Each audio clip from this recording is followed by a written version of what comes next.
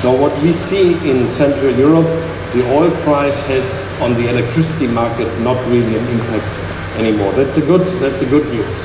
The bad news is um, that, of course, the, the um, fur further installation of renewables, especially in a country like Germany, in our grid region, we have already 40% of the consumption, I mentioned that already yesterday, covered by renewable energies. That has an impact on the electricity price, causing very low electricity prices, which create some trouble in the overall market design.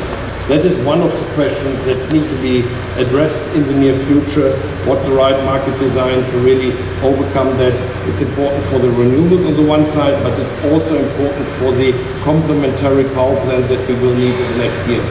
Could could you just tease that out a little bit more and um, talk about the sorts of challenges that you face as a grid operator when, for example, uh, you suddenly have to balance a huge amount of variable power? what, what actually happens? I mean, it, surely sometimes you've got a very short period of time to come up with a massive amount of electricity somewhere. Actually, the good thing is when you start such a development, what we learned is it does not play any role for the overall system. So the first 10% of renewable you can integrate just by ignoring them. It's, it's they, have, they, they have no impact on the system. Actually, I told that yesterday when I was a young engineer and started in the energy business, everybody believed it's not possible to integrate more than 5%. I would say nowadays what I learned, what is the main challenge in the first 10% that you install and, and integrate in a, in, in a country is the change in the mindset. It's up here and not a technical problem. It's a, it's a mindset problem. What is important at that stage that you start to prepare for the next phase. What does it mean concrete?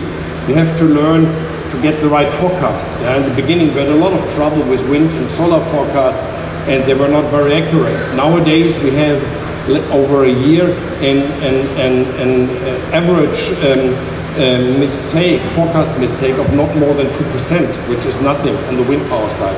On the solar side, we have not reached that yet. So it's learning about, it's starting to learn how to build up the needed IT tools to integrate them. But then you come in the second phase, and our experience, it will be different in some other region, whether you're an island or whether you're a bigger market, but in, in Central Europe, um, when you came in the second phase, I would call it the phase where the renewables become a substantial source in the energy mix. That's something between 10 and 30 percent then forecasting is one of the essential, essential issues.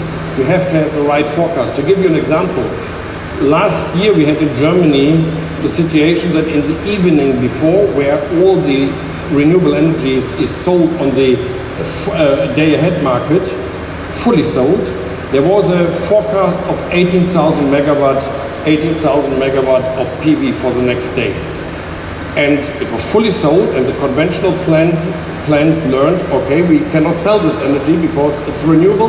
They have planned to cool down their power plants and not to be in operation.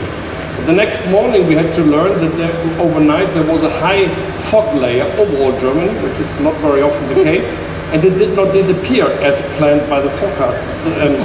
so the result was that we had up to 9,000 megawatt less energy from the renewables, from the photovoltaic coming into the system than planned before.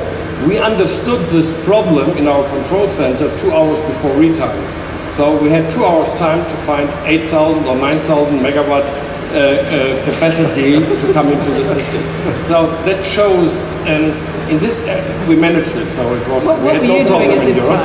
It's the reason why you are still sitting here. That's the reason why I'm still sitting here. but, but, but why do I mention this? In this, when, when you're coming into this phase, renewables 10 to 30%, there it becomes substantial, but you still have time to improve these already developed systems forecast systems that are integrated in the real-time IT, all this stuff. And you have to think about integrating the renewables also in the market. That has to start already in this range. And you have to think about integrating the renewables into the ancillary services. What does that mean? The renewables, they can play a role to stabilize the overall system. To give you once again there an example, when we have big storms we sometimes lose lines in some directions, more in the US and in Europe because we are meshed grid. Then the main problem and the technical problem in the grid system is to keep the voltage level in the region stable. Renewables are perfect. Windmills, when there is a lot of wind, are perfect for grid stabilization and stabilization of the voltage level. We have included them since one year in Germany, the first ones, and I can tell you the first storms that we had last years, we managed perfectly and they did exactly what expected. And then it's now the third phase where we are slowly coming in. the phase where the renewables plays a dominant role, above 30%. In our grid region, 40%, overall in Germany we are at 28%. And then we have to think about step by step a full market integration, otherwise it will not work. Otherwise we have a regulated generation. That's not the future. And then, and then it starts where we have to think, at least in the lessons we made in Central Europe, where we have to think about flexibility. Till then, we don't need any additional flexibility. We need then, as an additional flexibility element, the cheapest one, that is grid extension, connecting areas, as you mentioned it already, but step by step also demand response, demand side management, flexible complementary uh, power plants, and at the end storage. But this is not an issue for day one. It's an issue when you have 30% or more in the system. Then it's a point where you really need flexibility.